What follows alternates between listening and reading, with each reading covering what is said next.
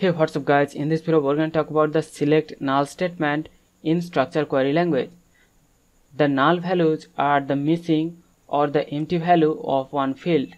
Like an example we have the employee table and inside the salary field we have some empty or missing value. So these are the null value. Now to select those null values we use the is null operator. Like an example we can write select the column name from the employee table where the salary is null. So this query will return all the name of the employee whose salary field is null. And also we can use the not null operator which will do the opposite of is null operator.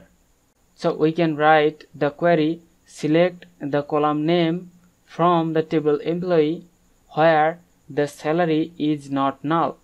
So this query will return the name of all the employee whose salary field is not null. So this is the way we can use the null operator to select null or not null value from one table.